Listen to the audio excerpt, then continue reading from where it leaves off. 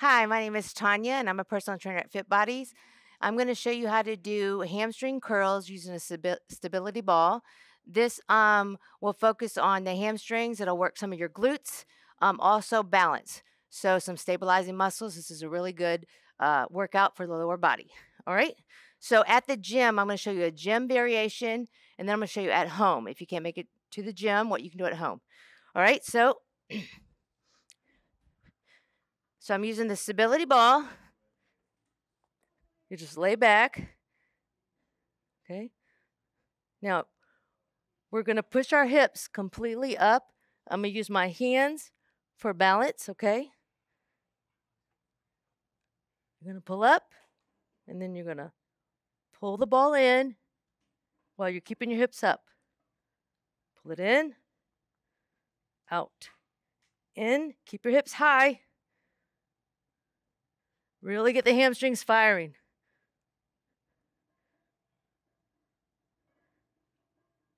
Okay, so that's and at gym um, version. I'm going to show you um, if you're at home and you cannot get to the gym or you don't have a stability ball.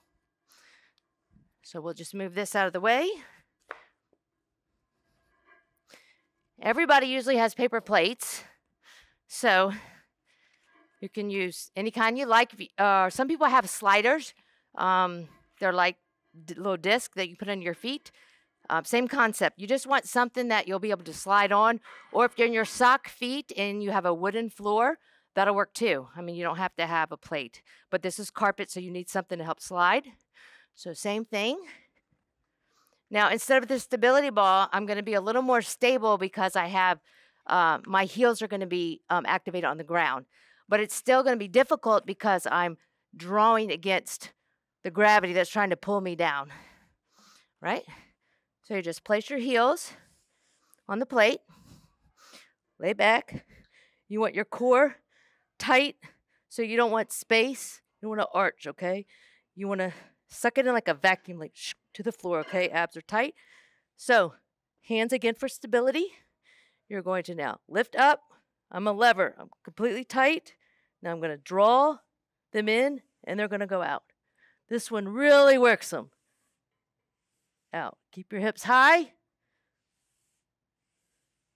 Couple more.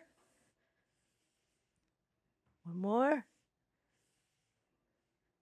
Woo! And that's how you do uh, the stability hamstring curl. Um, I hope you enjoyed that. Be sure to um, check out Fit Bodies Unlimited uh, for more exercise videos. Thank you.